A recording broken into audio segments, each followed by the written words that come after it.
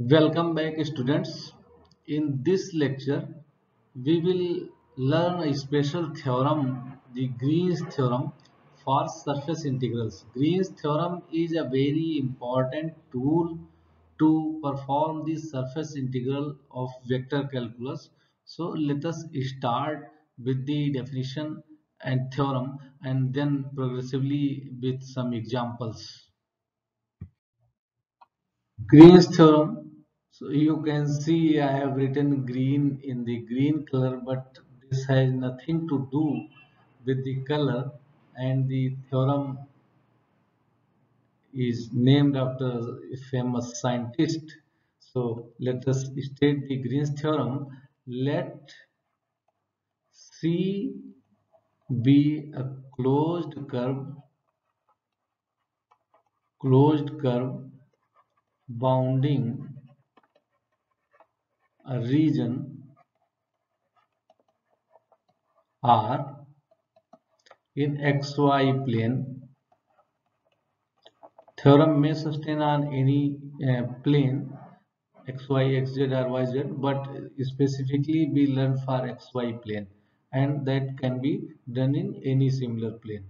So let P be any closed curve bounding a region R in xy plane and phi xy psi xy and their first order partial derivative del phi by del y and del psi by del x are all continuous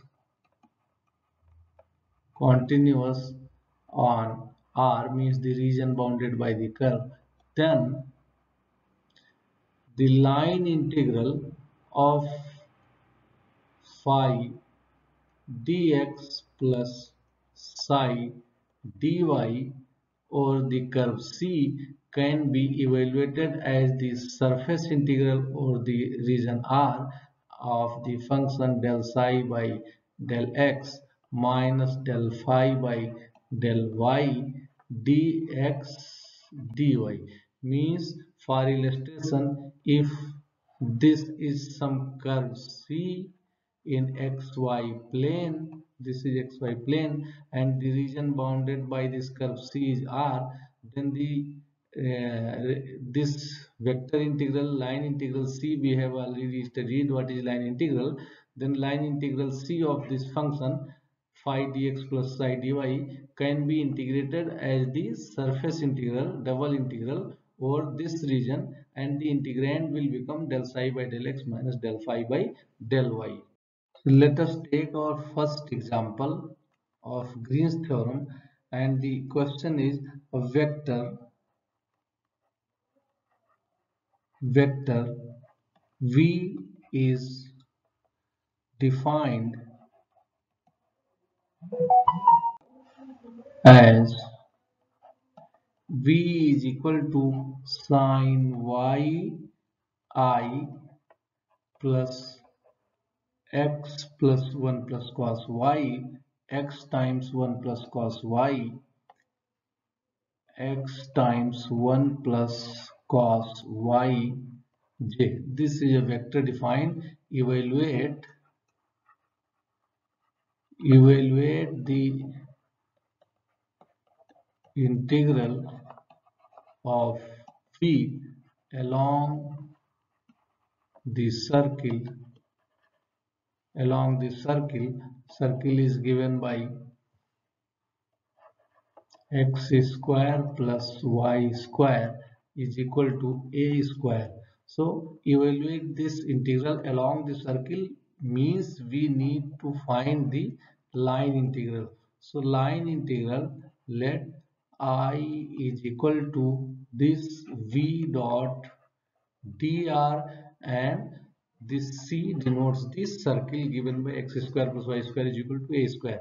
We already know that line integral is uh, written as integral this v dot dr and what is this? We have already learned in previous lecture. If you did not just go back to that lecture line integrals path integral and learn that and then come to this lecture again. So what we need to compute v dot dr and you can see that v has component sin x sin yi plus this and dr in the xy plane will have the component dxi plus dyj. So once i am writing as this uh, first question so this sin yi plus x 1 plus cos y j. This and what is dr? dr is dx i plus dy j. And now this will become sine y dx plus x times 1 plus cos y dy. This and this integration is being taken on xy plane. Now because we need to use green's theorem so this sine y as p and x 1 plus cos y as q so we will are we use the symbols phi and psi. So i am taking phi and psi here. So this this is phi and this is psi. So what you need to write that this is equivalent to double integral over the region r bounded by circle and region bounded by circle is a disk. So this del psi by del x minus del phi by del y. This dx dy. And put the computation of these terms. So this is equal to so psi is x times 1 plus cos y. I am explicitly denoting here treating it the first question is x times 1 plus cos y. So del psi by del x will become 1 plus cos y. This is 1 plus cos y.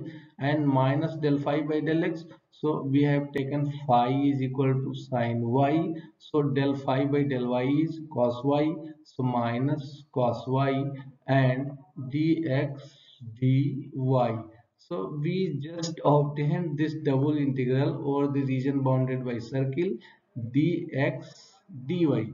And you know this is the area of circle. So this can be written without integration as pi a square. So this is how uh, green's theorem simplifies a problem. Let us take another example and that is use green's theorem theorem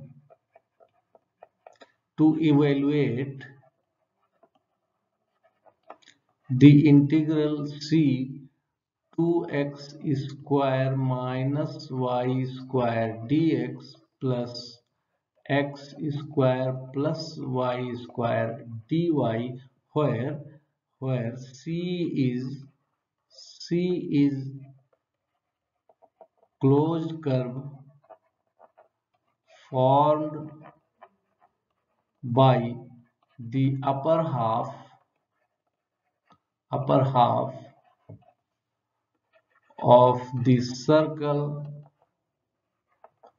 x square plus y square is equal to a square and the part of x-axis part of x-axis from minus a to a means if we draw this in xy plane let this is x plane this is this is x-axis and y-axis and we have this circle c given by x square plus y square is equal to a square. Obviously the radius is a this is point minus a this is point plus a. So the circle so the curve c it precisely consists of this part of circle and this part of x-axis. So this is complete say and actually this c is not circle this is circle. X square plus y square is equal to a square this is circle.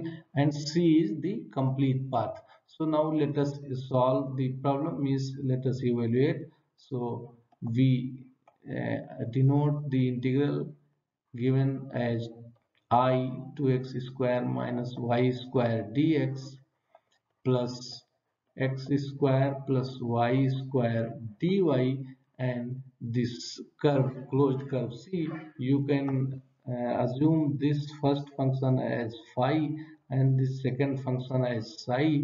So you just need to write this integral using Green's theorem and the region bounded by and what is the region bounded by this is the whole region. Means half circular disk. This is the region. So just you will need it del psi by del x and that will become 2x minus del phi by del y and that will become minus 2y and integral is taken over the region. So it is dx dy. Thus we have precisely 2 times integral over the region r and this is x plus y dx dy. So you can put the limits of x and y and integrate but it is easier to convert this integral into polar coordinates. So let x is equal to r cos theta and y is equal to r sin theta. So we will have limit of r varying from 0 to a limit of theta varying from 0 to pi you can see for half circle theta varies from 0 to pi and dx dy will be r dr d theta. So we can write this integral i as this is equal to 2 times double integral over the region r as r cos theta plus r sin theta r dr d theta and now put these limits. So this 0 to a limit for r 0 to pi limit for theta. And this become r square sine theta plus cos theta dr d theta and because all the limits are constant so you can in, independently integrate the variables. So r become r cube by 3 and takes the limit 0 to a. Sine theta cos theta become minus cos theta plus sine theta and take limits 0 to pi. You put these limits so sine theta will vanish cos theta my uh, from my pi uh, 0 to pi. This will be 2 so and we have 4 a cube by 3 this is our integral and green's theorem simplifies it. And take our third example and this says that evaluate evaluate the integral over some curve c and this is actually x dy minus y dx divided by x square plus y square and c is given by a curve and the curve is in this line. So this i am drawing here. This and a circle. So this just assume this is origin and this is a circle circle c1 and the rectangular path. So first you start at the point i you can see it marked as red. You go through the rectangular means straight lines then come back to this point and finally complete the circle in clockwise direction. So this is the path and for the measure of path the circle is given circle c1 is given as x square plus y square is equal to 1 and obviously because this circle is of radius 1 so this point is 1 and this point is minus 1 other points are also given. This point is 1 comma 2 and this point is minus 1 comma 2 then obviously other points and this this is minus 1 comma minus 2 and this is 1 comma minus 2 so we have all points and this is the complicated path. C along which we have to integrate this curve. So you can see this is very typical very tough to evaluate this integral along the path but we will use Green's theorem. So let i is given by this uh, is given name to this uh, integral so just put this in the uh, form y by x square plus y square dx that is our standard form plus x by x square plus y square dy. So you can write this function as phi and this function as psi. So what you just need to calculate is the partial derivative of psi with respect to x and partial derivative of phi with respect to y and now we have the integral converted into double integral over the region R. What is the region R actually? This bounded region, this region is R and I think this is not clearly visible so let me this bounded region this bounded region is R means we will convert the integral or the surface integral and will be integrated on this region R. So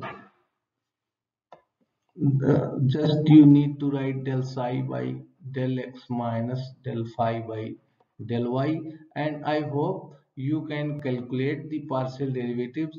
We have done it several times in many other lectures and this comes out to be double integral r. This is actually y square minus x square for del psi by del x x square plus y square whole square minus x square minus y square by uh, plus this plus x square minus y square by x square plus y square whole square this for del phi by del y and you can see these two factors are cancelling each other. y square minus x square plus x square minus y square. So this just become double integral of 0 dx dy and that means 0 so we have integrated very easily but using green's theorem. And direct integration is can is possible. We can integrate directly. We have to integrate on the circle then all these one two three four five paths and then we will find the zero. So direct integral is sufficiently tough. So let us take our last example of this lecture. Verify Green's theorem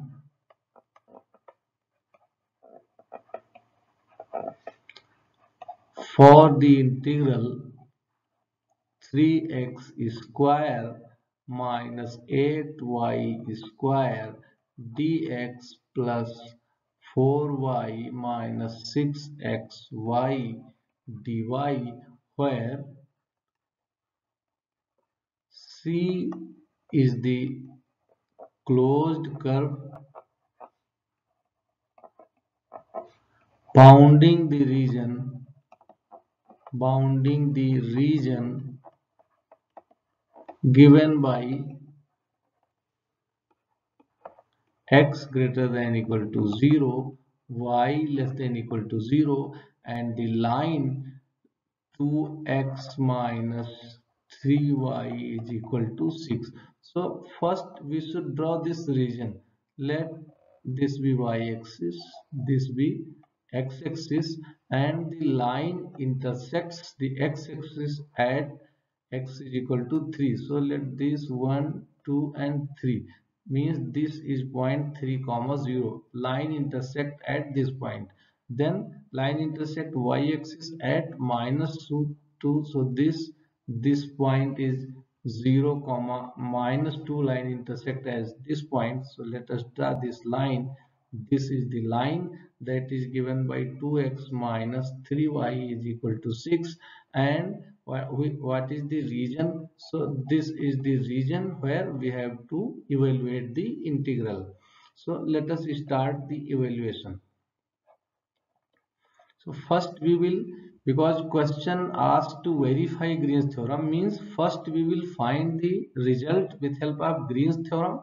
Then we will find the result by direct integration so first let i is equal to C 3x square minus 8y square dx plus 4y minus 6xy dy then you can say this function phi and this function psi. So using green's theorem using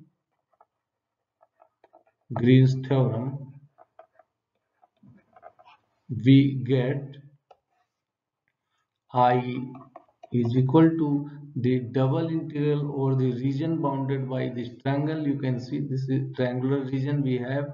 So del psi minus del del psi by del x and that becomes minus 6y minus del phi by del y. So this becomes minus 16y and this has to be integrated over the region. So we have dx dy and this comes out to be the double integral over the region.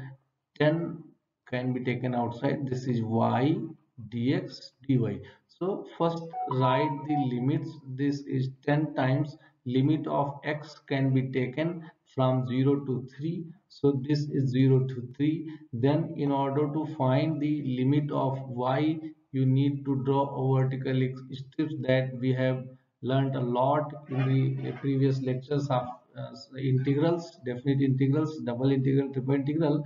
So limit of y goes from this line to 0 so upper limit is y is equal to 0 and lower limit of y is 2x minus 6 by 3 so this is 2x minus 6 by 3 and y dx dy. So y has uh, variable integrals. It will be integrated first.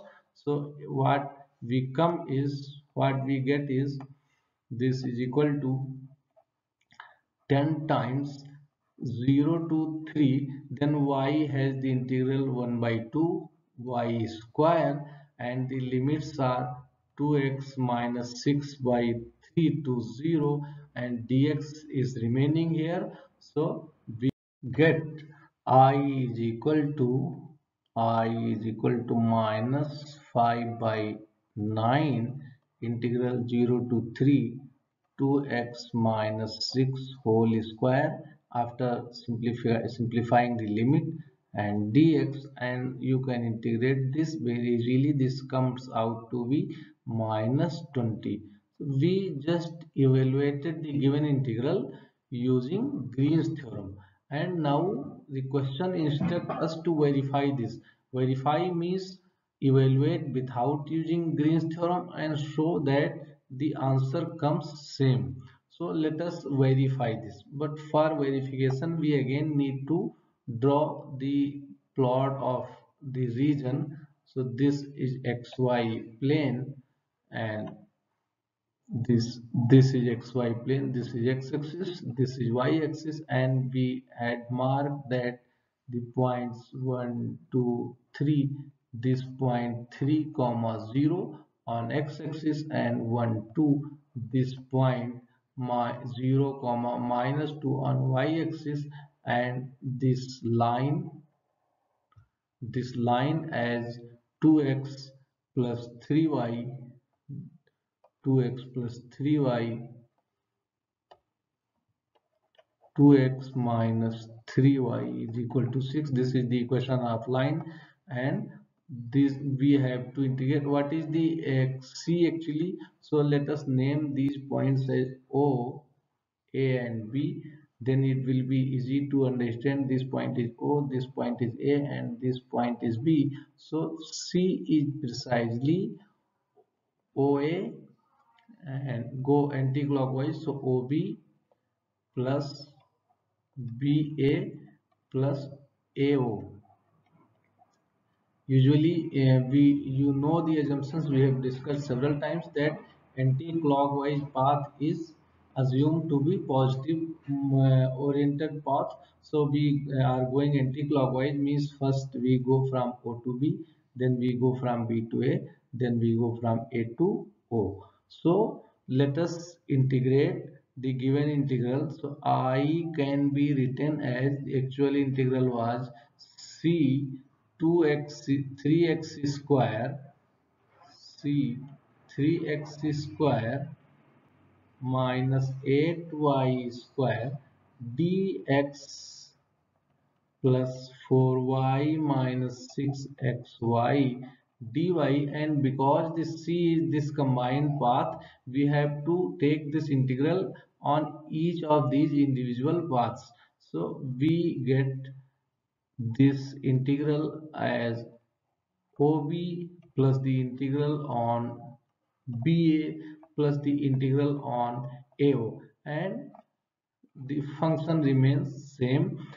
3x square minus 8y square dx plus 4y minus 6xy dy. So let us name these integrals as I1 plus I2 plus I3 and take each individual integral to make our evaluation simpler. So let us first consider, consider I1.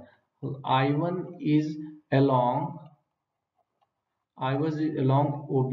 So along OB you can see that x does not vary. In fact x is 0. So dx is also 0. So we can write I1 as this I1 as the integral and x0 dx is 0 so dx is 0 this part is 0 x is 0 so we just find for y dy and the limit of y varies from 0 to minus 2 so 0 to minus 2 so you can evaluate it as 2y square and the limit is 0 to minus 2 so we have found just the value of this integral as plus 8 so the remain it remains to evaluate i2 and i3 so let us evaluate i2 and i3 and i2 is integral from b to a.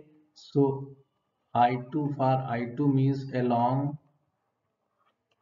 ba so you can see that ba is the line 2x minus 3y is equal to 6 so either you need to convert y into x or take x into y. So let us take y as a function of x. So it becomes 2x minus 6 by 3 and then dy becomes 2 by 3 dx so all that you need to put is i2 is equal to this integral and the functions are 3x square and y is converted into 2x and this is 8 times 2x minus 6 by 3 whole square dx.